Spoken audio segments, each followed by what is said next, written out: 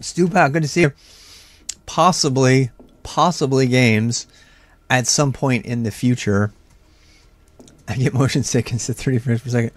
So does my wife. She cannot do those games.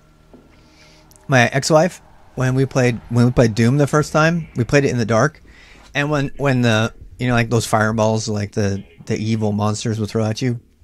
I kid you not. This is my ex-wife.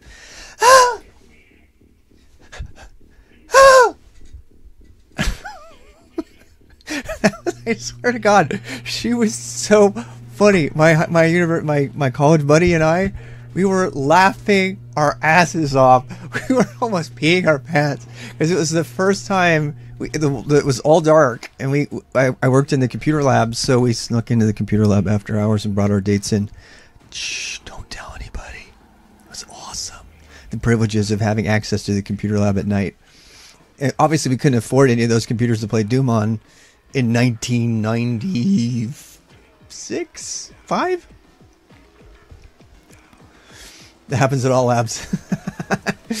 so we were like, seriously, though, she had such like she couldn't play it. It made her sick because she was like she was a dancer too, so was, she was really cued in visually to everything.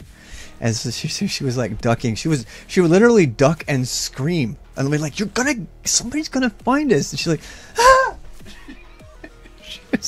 Funny. Oh my god, it was so funny. so, oh yes, college days, good old college days.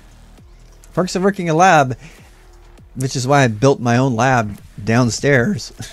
and now with COVID, we can't play it anymore. God damn it. So yeah, I know, I know, just know.